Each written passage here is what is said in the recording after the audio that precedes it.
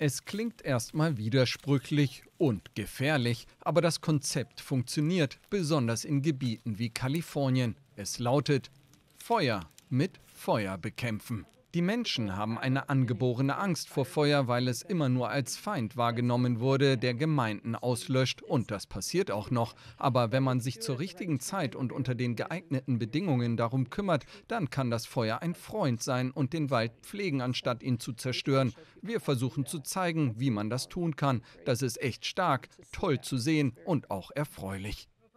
Kontrollierte Feuer werden als ein wichtiges Instrument zur Eindämmung der Waldbrandgefahr gesehen. Es besteht aus dem präventiven Abbrennen von trockenem Unterholz. Es wird von staatlichen Behörden durchgeführt, kann aber auch für private Landbesitzer sinnvoll sein. Daher werden entsprechende Fortbildungen angeboten.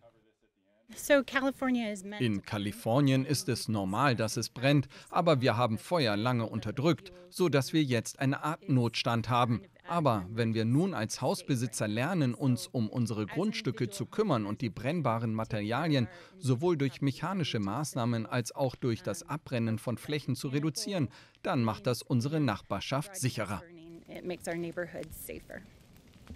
Der US-Bundesstaat Kalifornien hat im vergangenen Jahr einen strategischen Plan entwickelt, um die Wälder besser zu schützen.